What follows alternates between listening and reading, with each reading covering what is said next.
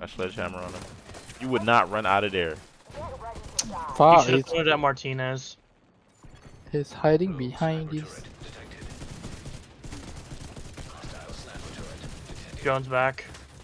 Look at Oh look at my his health. We, no. Mm-mm. Healing. Get shoot the healing. Shoot the healing. Shoot the healing. Debuff. Reloading. Stop blocking. I wonder if it'd been better if I Come on, had come on, the come on, come on, come on, come on. Kill him. Yes, almost. Thank you. Relax. Okay. Get Oh, out of there. Oh, get out of there. Relax. Stay focused, please. Don't just don't start ex getting excited. We have to kill her. It's ads and mortars. Yeah, okay.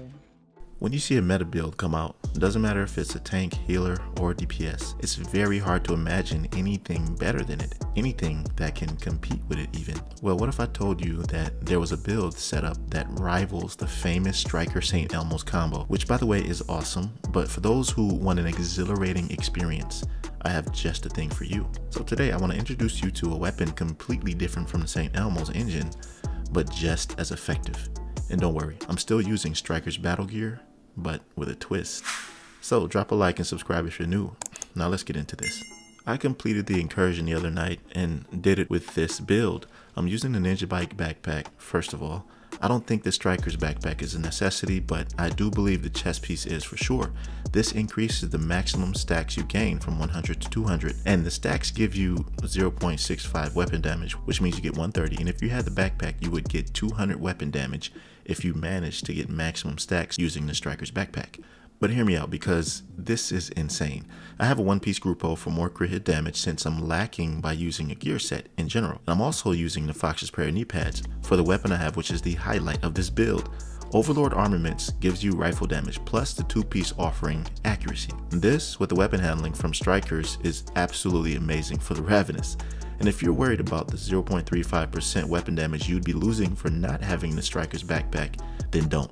The Ravenous's explosion is based on amplified weapon damage, and when you switch shoulders, the bonus armor stacks grant amplified damage to enemy armor plates while simultaneously protecting you when face tanking. Let me go a little in depth here. The St. Elmo's engine is great because aside from its weapon damage, it electrocutes the NPCs, effectively stopping them from moving temporarily. This gives you great opportunities to apply weapon damage, get out of dangerous situations, whatever.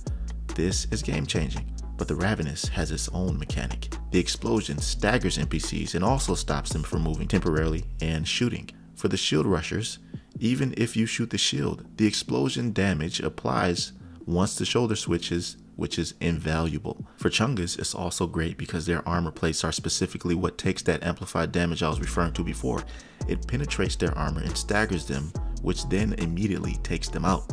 But there are a couple of complaints that people have about the Ravenous, which are that it fires too slow. Well, Strikers has rate of fire and it has you covered there. And that also on a rifle, you won't gain your striker stacks because it's a semi-automatic.